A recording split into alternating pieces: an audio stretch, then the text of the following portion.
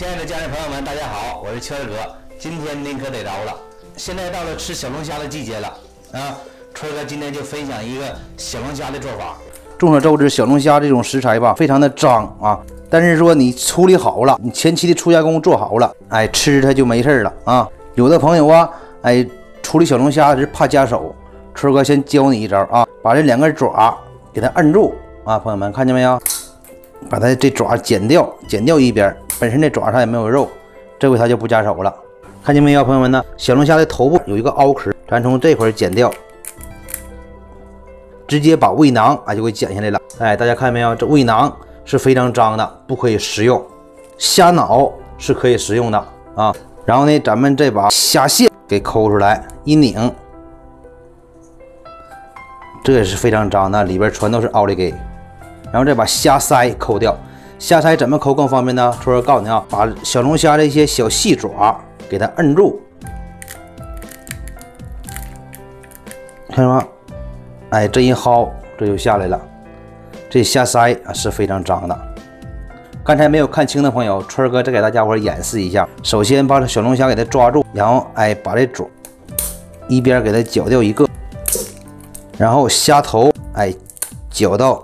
这个凹壳这块用剪子这么一带，看着没，朋友们呢？哎哎，一带这胃囊就直接就带下来了。然后虾的尾部，看着吗？从中间这个尾部，咱们左拧右拧，往出一薅，看见没，朋友们？哎，这就薅出来了。然后抓住小龙虾的细爪，这根手呢要摁住头部和尾部，这么摇一摇啊，左右摇一摇，哎，这就下来了。看看见没有，朋友们？全部搅干净之后，咱们加入清水，再把虾尾部用牙刷给它刷干净了。咱们自己家里边吃啊，就得整干净了。你要上饭店或大排档里边吃，春哥实话告诉你，不带有人给你这么收拾的。他没这工，没这时间，到市场买点小龙虾，在家里边吃，像春哥这么做，那多干净啊，吃着也放心呢，对不对，朋友们？有很多朋友都说，做小龙虾要是说不辣，那就没有灵魂。但是这川哥媳妇儿不能吃辣的呀，咱们今天呢，啊，就做蒜蓉小龙虾。所以说呀，食无定位，适口则珍。是你做小龙虾你不辣没灵魂，但你做辣的人不吃吃不了，那不也白搭吗？是不是朋友们呢？所以说适合家庭，适合自己就 OK 了。什么灵魂不灵魂的，爱吃就完事儿了，好吃就 OK 了。但是今天圈儿哥说啥得给你爆个黑料，为什么都说小龙虾不辣没有灵魂呢？圈儿哥敢保证，没有一家饭店或者大排档能像圈儿哥处理的这么干净。你问问他，他家的小龙虾，他敢做清蒸吗？他敢做蒜蓉小龙虾吗？圈儿哥跟你说句心里话，按照圈儿哥这么操作，你怎么做它都不带行的。这就叫什么呀？细节决定成败。接下来呢，咱们再进行最后一步，啊，也是非常关键的一步。咱把虾背啊，就这么搅个搅个口，这样呢，咱们做的时候会更加的入味儿。然后咱盆里边加入清水，把小龙虾再洗一洗。这时候我们洗的时候啊，千万不能这使劲的抓了啊，使着点劲儿啊，就是轻撩的，别把虾黄洗掉了。咱们轻撩这么洗啊。好，咱们洗两遍就行啊。小龙虾川哥已经清洗两遍了。视频到这里呢，小龙虾的前期处理就全部完事儿了。接下来咱们就开始制作。首先咱们准备大蒜啊，咱们剁点蒜末。哎，然后把大蒜呢剁成蒜末。咱们大蒜先拍一下来，然后再剁吧，哎，比较容易些，更快一点啊，更省时间。大蒜剁成这种颗粒状就可以了。啊，然后咱们先放到玻璃碗里头，然后咱们加入清水，把大蒜头洗一下。最近呢，有的朋友给春哥私信，哎，在家里边做蒜蓉小龙虾为什么会发苦呢？春哥告诉你啊，这最重要的一个环节就是大蒜你没有用水去头洗。有的朋友担心说大蒜用水头洗，那蒜味不就没了吗？春哥说你别操这心啊，把心操在别地方，这地方你别操心了。大蒜你头洗完之后。它也不会没有蒜味儿，你知道吗？头洗的目的是为了把大蒜那个汁水给它洗出去，要不大蒜你炸完之后吧，还容易糊，然后呢，哎，还还容易发苦，这是关键，必须得头洗一下，哎，然后啊，咱们用蜜罩呢给它漏一下子，哎，然后把水分呢往出压一压，然后咱们再切点姜末，好，切好先放在马兜里边。锅烧热，咱们加入一勺菜籽油，啊，把菜籽油烧热，烧至冒烟的状态。咱们下入小龙虾。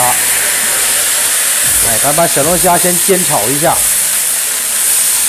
这样不仅能去掉虾的腥臭味，还能增加虾的香味，而且看这颜色呢呈鲜红色，非常的有食欲。然后送锅边喷点高度白酒，挥发增香去腥，把虾全部炒制成鲜红色。咱们倒出控油，炒锅刷洗干净之后，咱们再加入少许菜籽油，再来点调料油，这叫混合油。然后咱们放入蒜末，蒜末咱们放入四分之三，咱们留四分之一生蒜。做蒜蓉小龙虾呀，必须得用金银蒜，把多一半的蒜呢炒制成金黄色，有点把蒜炒干了，然后再下入生蒜，这样蒜的香味儿还有蒜味儿啊都能融合到一起，使蒜香味儿会更加的浓郁，更加的柔和。大家看清了不？把这蒜呢炒制成淡淡的黄色，水分炒干了，炒香了。这时呢，咱们再放入姜末。还有之前剩下的四分之一的生蒜，生蒜跟熟蒜混合在一起，使蒜的味道会更加的柔和啊。如果能吃辣的朋友啊，这时候呢可以适当的放一匙的黄椒酱，不仅提颜色，而且辣味也非常的足。然后放入小龙虾，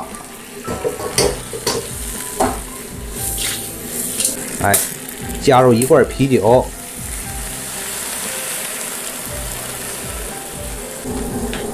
东古酱油，咱们加入二十克，提味提鲜；胡椒粉三克，去腥增香，增加复合味；精盐三克，调底味；白糖两克，提味提鲜；鸡精三克，提味提鲜。汤烧开之后，咱们改成中火，然后盖上锅盖，炖煮八分钟。哎，到点了，咱们打开锅盖，看看什么样。哎，这汤汁啊，还稍微有点稀。这时候呢，咱们再把火调大一点，把汤汁收紧一些，这样味道啊会更加的浓郁。饭店也好，烧烤店也好，做龙虾的时候最好是做两种口味的，一种是麻辣口味，一种是这种蒜香口味。你来吃饭的客人，有的人不能吃辣的呀，哎，就吃这蒜香味的了。所以说这道菜呀，真值得大家去收藏。哎，大家看到没有？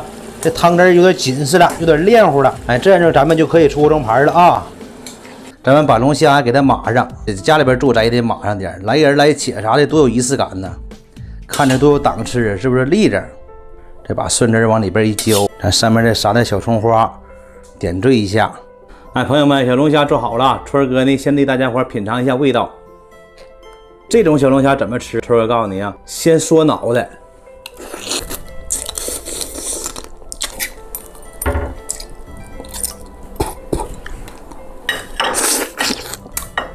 把虾脑味儿全嗦嗦干净了，太爽了啊！春哥虾背部不有个豁口吗？是为了让虾肉啊入味儿了。咱们吃虾肉的时候，两边这么一掰，看见没，朋友们？